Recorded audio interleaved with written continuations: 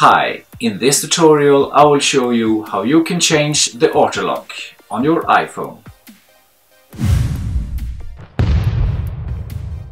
Okay, the first thing to do is to open the app Settings.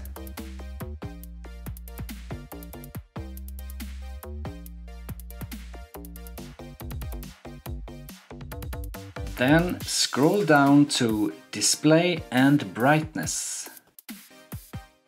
And then go to Auto Lock.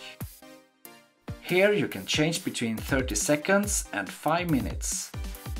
Or you can turn off the auto lock by selecting Never. And that's it. Thank you for watching this video.